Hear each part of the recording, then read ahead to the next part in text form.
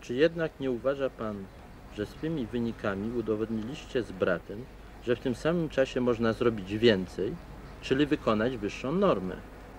Nie, dlatego że to jest sprawa organizacji pracy. W samym środku i powiedzmy w ogóle sprawa organizacji pracy, którąśmy mieli z bratem, dała nam te wyniki. To wobec tego, dlaczego ludzie mają do pana żal?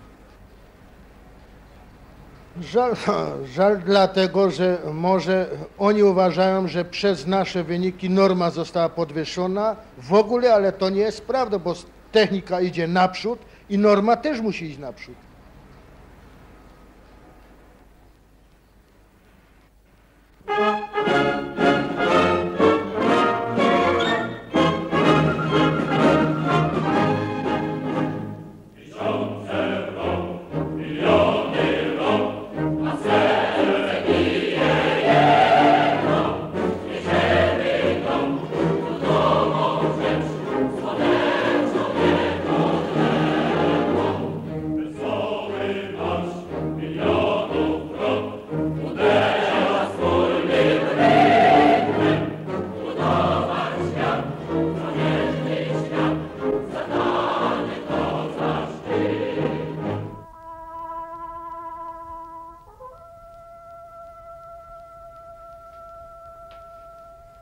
My tu ciągle o pracy, o normie, a to nie wszystko.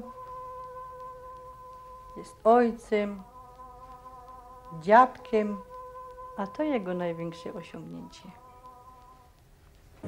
Słońce